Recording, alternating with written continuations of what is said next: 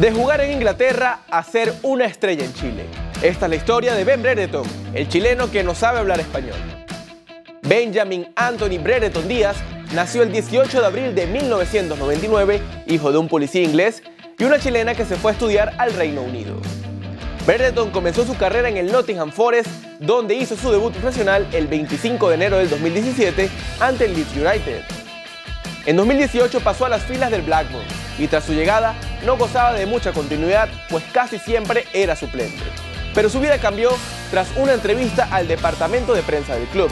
Le preguntaron una curiosidad de él que no se supiera y él respondió, pues soy medio chileno, no hablo nada de español, pero mi madre es de Chile, así que tengo sus raíces.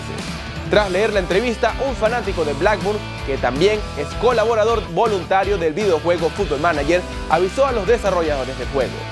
Estos añadieron la doble nacionalidad al delantero y este hecho desató la avalancha. Gracias al videojuego, la Federación Chilena lo descubrió y lo convocó para la pasada Copa América. Antes de tomar la decisión de jugar para Chile, vistió la camiseta de Inglaterra en las selecciones juveniles e integró el plantel campeón que ganó la Eurocopa Sub-19 en 2017 en Georgia. Brereton ya cuenta con tres goles en la selección de Chile, el último fue el 14 de octubre la victoria 3-0 ante Venezuela.